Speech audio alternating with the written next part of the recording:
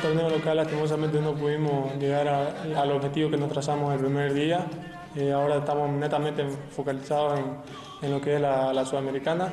Vamos a a trabajar de la mejor manera. ¿no? Tenemos los siguientes días para hacerlo así y vamos a estar a disposición del profe. Yo creo que todos los compañeros lo quieren así. Ya ultimando detalles para este lunes emprender viaje a Brasil, la Academia Cruceña se mentaliza y estudia su rival de turno, mismos que en el partido de vuelta tendrán en el campo de juego a varios de sus titulares que no pudieron estar en el partido de ida en la ciudad de Santa Cruz. Los dirigidos por Platini se sienten optimistas de volver con la clasificación, pero saben que no será tarea fácil.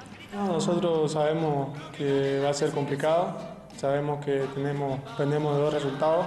Gracias a Dios se nos dio resultado aquí en casa y tenemos la tranquilidad de haber ganado aquí. Así que vamos a ir a buscar el mejor resultado posible que, que está en la condición del equipo.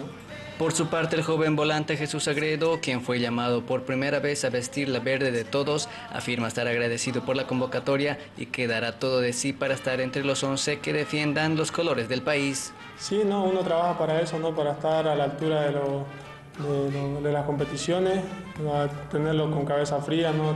todavía tenemos un partido muy importante la próxima semana, pensar primeramente en ello y después enfocarnos en lo que se viene en la selección, muy feliz por, por mí, por ser mi, primera convocatoria, pero tranquilo, ¿no? seguir trabajando y demostrar por qué ha sido llamado.